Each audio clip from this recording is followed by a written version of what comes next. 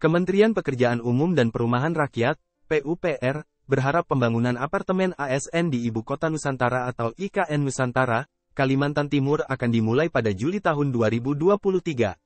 Dilansir dari Kontan, Ketua Satgas Pelaksana Pembangunan IKN Kementerian Pekerjaan Umum dan Perumahan Rakyat, PUPR, Danis Sumadilaga menjelaskan, proses pembangunan rusun IKN rencananya akan dibangun dengan skema APBN dan KPBU.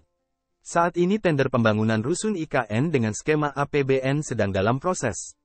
Yakni pembangunan 47 tower dengan 12 lantai sekitar 9 rupiah. 1 triliun. Kita harapkan bisa mulai Juli, proses konstruksi, yang hunian ASN, ujar Danis saat ditemui di Kementerian PUPR, Jumat, 12 per 5.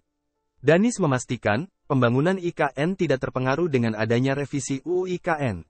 Sebab, pelaksanaannya sesuai dengan ketentuan anggaran tentang pelaksanaan APBN.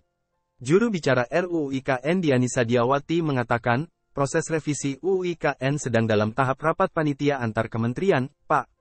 Diani memastikan, porsi pendanaan APBN dalam pembangunan IKN tetap 20%.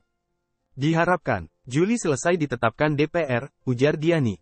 Berdasarkan data dari Layanan Pengadaan Secara Elektronik, LPSE, Kementerian PUPR, berikut daftar tender proyek Rusun IKN. Pertama, konstruksi terintegrasi rancang dan bangun pembangunan rumah susun ASN 1 senilai 1,7 triliun rupiah.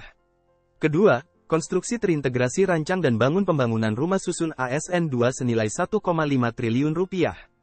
Ketiga, konstruksi terintegrasi rancang dan bangun pembangunan rumah susun ASN 3 senilai 1,1 triliun rupiah.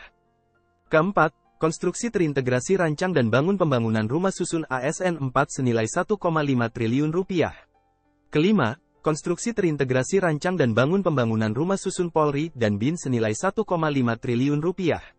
Keenam, konstruksi terintegrasi rancang dan bangun pembangunan rumah susun pasukan pengamanan presiden, Pas Pampres, senilai 1,8 triliun rupiah.